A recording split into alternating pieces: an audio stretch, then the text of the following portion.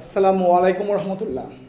আমি engineer Mohammad Abdullah Al Islam, এডুপার্ক one নাইনটিনের পক্ষ থেকে আপনাদের সবাইকে স্বাগতম জানাচ্ছি। আমরা আজ আমাদের সি প্রোগ্রামিং এপিসোড সাত এ যে বিষয়ের উপরে আমরা ভিডিও তৈরি করব, ভিডিও দেখাবো, তা হলো তিনটা গুরুত্বপূর্ণ টপিক যা আমাদের পরীক্ষায় সবসময় আসে। আমাদের কখনো কখনো প্রমাণ করতে হয় একটা প্রশ্নে আসে, গ বা ঘ প্রশ্নের বিষয়ে। কোনো সংখ্যা ধনাত্মক কিনা? একটা প্রশ্ন আসে। আবার একটা প্রশ্ন আসে, কোনো সংখ্যা জোর কিনা? জোর কিনা মানে কোনো সংখ্যা জোর না হলে সেটা বেজোর কিনা? অর্থাৎ অর্থাৎ জোর বা বেজোর নির্ণয় করতে হবে। আবার এরকম কোনো প্রশ্ন আসে, কোনো ব্যক্তি ভোটার কিনা? মূল বক্তব্য, আমি এখন যে ভিডিওটা আপনাদের সামনে উপস্থাপন করব, এই ভিডিও এমন একটা বিষয়ের উপরে ভিডিও যার দুইটা বিষয়ের একটা হবে একটা হবে না। অর্থাৎ কোনো সংখ্যা ধনাত্মক কি না, তার মানে সংখ্যাটা হয় ধনাত্মক হবে, আর ধনাত্মক না হলে সংখ্যাটা ঋণাত্মক হবে। কোনো সংখ্যা জোর কি না, এই কথা অর্থ হলো সংখ্যাটা যদি জোর না হয়, তাহলে বেজোর হবে। কোনো ব্যক্তি ভোটার কি না, এর অপোজিট অংশটা আছে, সে ভোটার নয়, ভোটার অথবা ভোটার নয়। এইরকম যে প্রশ্ন করলে প্রশ্নের দুটো উত্তর পাওয়া যাবে, এই ধরনের বিষয়ে সি প্রোগ্রামিং করার জন্য আমরা কন্ডিশনাল কন্ট্রোল স্ট্রাকচার হিসাবে ইফ ব্যবহার করব। আর এই ইফে ইফ এলস স্ট্রাকচারে ইফ এলস স্ট্রাকচারে আমরা এই বিষয়টা সমাধান করব। বন্ধুরা, প্রথমে আমরা লক্ষ্য করছি যে সি প্রোগ্রামিং করা হচ্ছে কোনো সংখ্যা ধনাত্মক কি কিনা। যথারীতি আপনাদেরকে জানিয়ে রাখছি যে আমরা সি প্রোগ্রামিংয়ে বরাবর আলোচনা করেছি যে প্রথম চারটি line hash include H hash include H main এবং সেকেন্ড ব্র্যাকেট এবং নিচ থেকে দুটো লাইন আমরা সব সময় সুন্দর করে লিখে নেব। বাকি থাকে আমাদের মধ্যবর্তী কয়েকটি লাইন বন্ধুরা সূত্র ভিত্তিক সি প্রোগ্রামিং আমি বলেছিলাম যে বাকি মোটামুটি চারটা লাইন থাকে, কিন্তু এখানে লাইন সংখ্যা একটু বাড়বে। বাট আইটেম একই থাকবে। এখানে আমাদের ইন্ট বা ডিক্লারেশন লাইন হবে। স্ক্যানের একটা ইনপুট ফাংশন আর প্রসেসিং আর আউটপুট ফাংশন একসাথে থাকবে।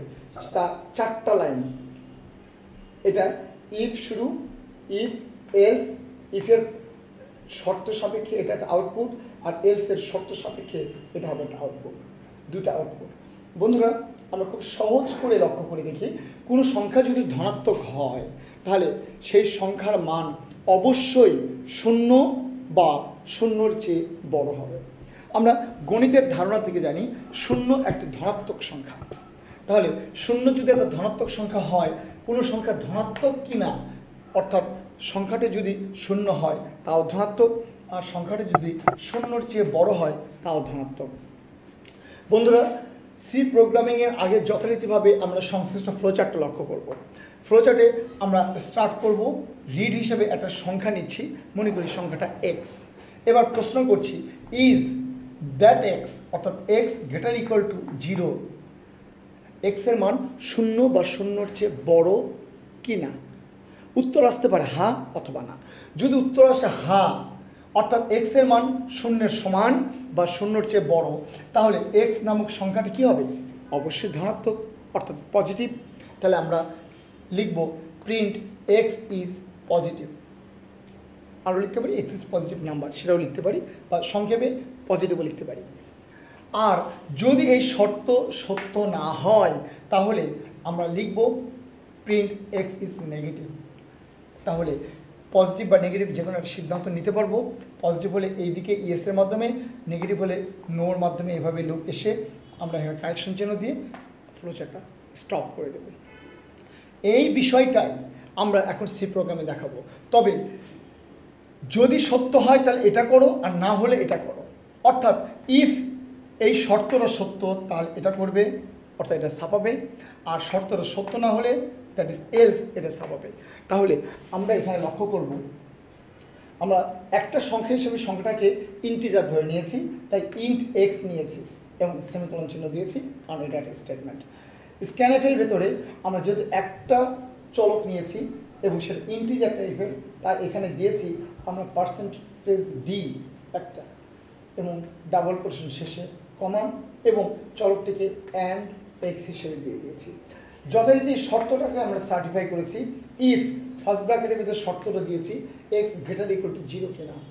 যদি সত্য হয়, তাহলে এই লাইনটা কাজ করবে, অর্থাৎ অঙ্কটা স্বভাবে এলস যদি না হয়, তাহলে এই লাইনটা, নিচের লাইনটা স্বভাবে প্রথম শর্তে ছাপড়া আছে প্রিন্টের ভেতরে লেখা আছে দ্য নাম্বার ইজ পজিটিভ আর এলসের ভেতরে লেখা আছে দ্য নাম্বার ইজ এখানে বন্ধুরা একটা কথা বলার দরকার আছে, যে ইফ শর্ত বিয়ার করে, আর এলস এর পরে ফার্স্ট ব্র্যাকেটে কোনো শর্ত বহন করে না। এলস মানে উপরের শর্ত সত্য না হলে কি হবে? সেটা।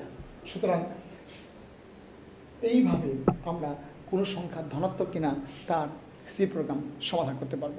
বন্ধুরা, আমাদের প্রথম প্রশ্নের উত্তর সি প্রোগ্রাম সমাধান করা হলো। যদি আমরা দ্বিতীয় অংশ কোনো সংখ্যা জোর কিনা এটাকে প্রমাণ করতে চাই বা এটার জন্য সি প্রোগ্রাম করতে চাই, তাহলে সেক্ষেত্রে আমরা ফ্লোচার্টের সামান্য পরিবর্তন করে দেখাচ্ছি এবং সেই রকম পরিবর্তনটা আমরা সি প্রোগ্রামিং করব।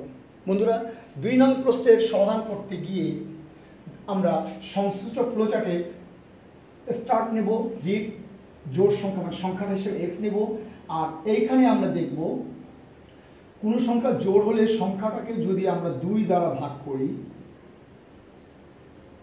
সংখ্যাটাকে যদি আমরা দুই দ্বারা ভাগ করি,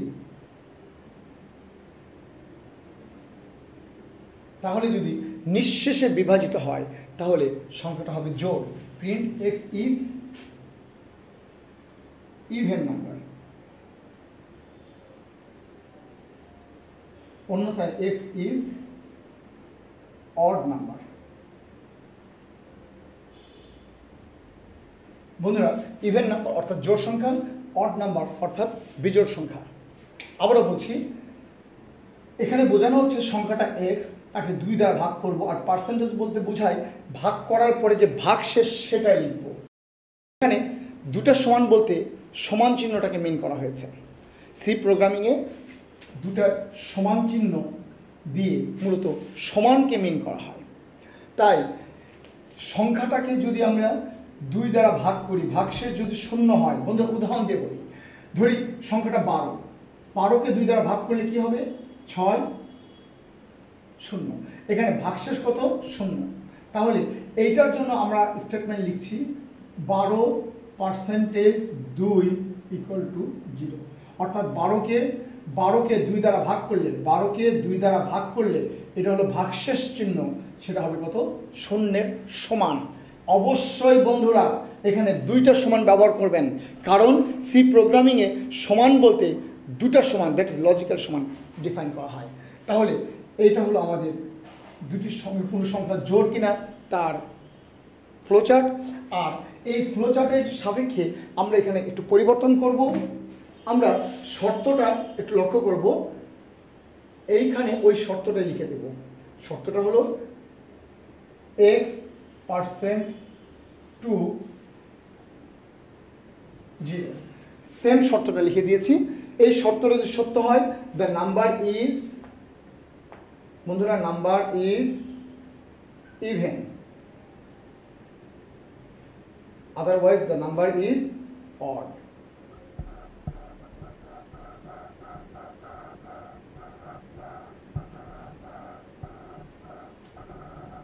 আর বাকি কোনো পরিবর্তন হবে না। সুতরাং প্রথম প্রশ্নের উত্তরের ভেতরে সামান্য শুধু শর্ত পরিবর্তন করে আমরা ডিসিশনটা পরিবর্তন করে দিয়েছি। তাতে প্রথম প্রশ্নের উত্তরটা দ্বিতীয় প্রশ্নের উত্তরে পরিণত হয়েছে। বন্ধুরা, যদি আমাদের প্রশ্নে পরীক্ষায় যদি তৃতীয় প্রশ্নটি আসে যে কোনো ব্যক্তি ভোটার কিনা এই প্রশ্নর সি প্রোগ্রাম করতে গেলে আমাদের একটু খেয়াল করতে হবে। আমার দেশের প্রেক্ষাপটে কোনো ব্যক্তি ভোটার হবে যদি তার বয়স আঠারো বছর বা আঠারো বছরের বেশি হয়। সেক্ষেত্রে বন্ধুরা, আমরা কোনো ব্যক্তির বয়স হিসেবে যদি ধরে নিই, বয়স হলো এক্স আর এক্সের মান যদি এক্সের মান যদি আঠারো বা আঠারোর চেয়ে বেশি হয়, অর্থাৎ X greater than or equal to eighteen এটা যদি সত্য হয়, তাহলে ন্যাচারালি লোকটি কী হবে?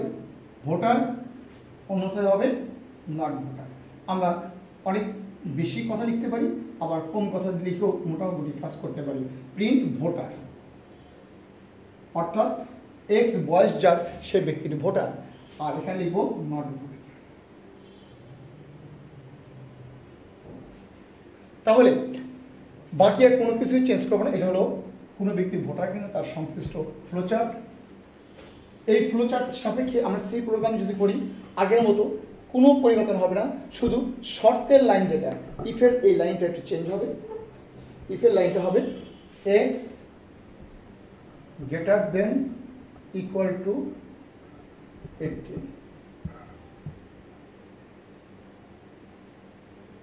তাহলে এখানে আমরা লিখে দেব ভোটার, এখানে লিখব নন ভোটার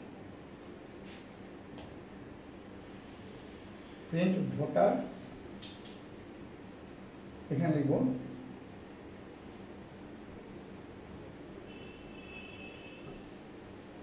আমরা শর্তের লাইনে যদি লক্ষ্য করি যে এক্স অর্থাৎ ব্যক্তির বয়স, সেটা যদি আঠারো এইটিন বা এইটিনের চেয়ে বেশি হয়, অর্থাৎ if X greater equal to eighteen তাহলে লোকটি হবে ভোটার, অর্থাৎ আমরা প্রিন্টের ফাংশনে লিখে দেব ভোটার। সংক্ষেপে ভোটার লিখেছি, আমরা লিখতে পারি the concern person is a voter অথবা সিম্পলি ভোটার লিখতে পারি। আর এই শর্ত যদি সত্য না হয়, তাহলে আমরা বলব the person is not voter অথবা সিম্পলি নট ভোটার তাহলে এই নট ভোটার লেখার মাধ্যমে আমাদের অসম্পূর্ণ কাজটা শেষ হবে। আর আগেই বলেছি যে আগের চারটে লাইন, লাস্টের দুটো লাইন অবিকৃত থাকবে, কোনো পরিবর্তন হবে না। সুতরাং বন্ধুরা, এই সংশ্লিষ্ট ফ্লোচার কোনো ব্যক্তি ভোটার কিনা, এর সাপেক্ষে আমাদের সেই প্রোগ্রামটা এখানে সম্পন্ন হলো। বন্ধুরা, আমার ভিডিওটি যদি আপনাদের ভালো লাগে, তাহলে লাইক শেয়ার কমেন্ট এবং সাবস্ক্রাইব করতে ভুল করবেন না।